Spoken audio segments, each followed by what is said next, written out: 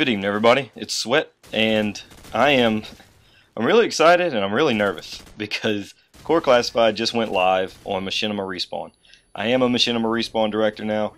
I did get that contract last week, and they requested Corps Classified, guys. So a lot of you uh, participated in making it and uh, have been waiting anxiously for it, and here it is. It's on Machinima Respawn right now.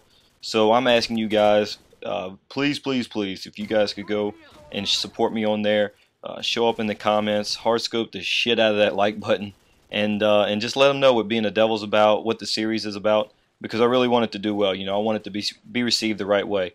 Uh, I'm not like some of the larger commentators or pre uh, premiere directors on there, so they're you know the first time they're seeing a lot of those guys are seeing my co my content. So again, uh, as much support as you guys can give me, I'd really appreciate it. And the second thing is for 10,000 subs, I want to do a Q&A video. I've got a few things planned, but I definitely want to do a Q&A video. So in the comments of this video, uh, if you could just leave a question, any question that you guys want to know about me or want me to ask, and I'm going to try to do a Q&A video here soon. So uh, again, click the link on the screen or click the link in the description, and it'll take you to my video on uh, Machinima Respawn. I hope to see you guys there. I'm going to try to answer every single comment, and you guys have a great day.